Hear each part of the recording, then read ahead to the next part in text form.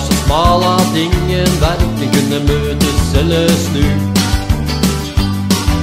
Der kom det en dag en danske i Skoda campingvogn. Han punkterte midt på brua, og så var sirkuset i gang. Og midt imot kom en lastebil fra Frydenlunds bryggeri. Bakfra kom det en stabburstrailer med stabburspølser i. Og begge ville hjelpe til. En god dag med fort god natt. Og campingvogna var av portsfabrikat, og reservehjulet var flatt.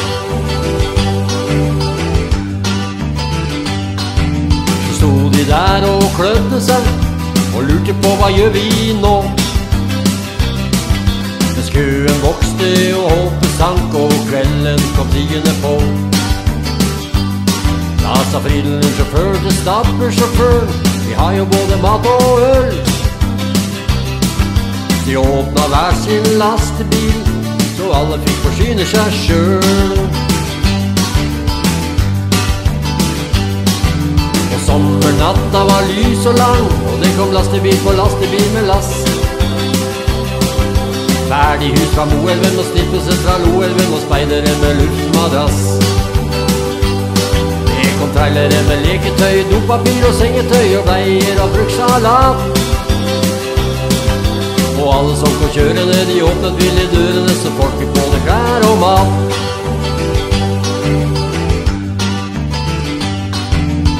En hadde verktøy med strømaggregater, en annen kom med publikum til Telemark Teater. En hadde tetong kong Håkon fra Freia, en annen kom med melk fra skumper ut på heia. Av møbler og hermetikk og anleggsmaskiner, ferskvis, frosken, fisk og campinglatriner. Og før sola steg uten last mot sky, var det anlagt en liten by.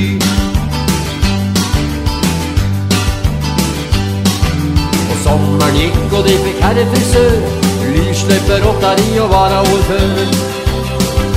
Og det kom et tivoli på flere hundre tonn, fikk de støtte fra distriktenes utbyggingsfond.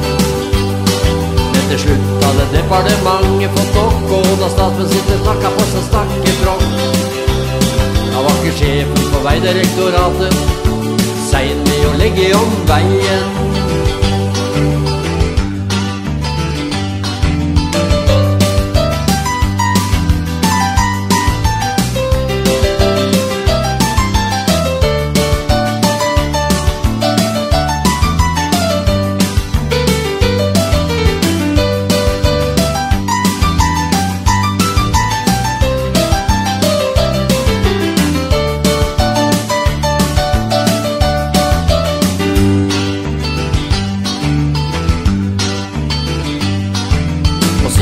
Har ingen sett dem, bortsett fra en og annen fotturist, som kan melde om et lykkelig samfunn uten en eneste bilist.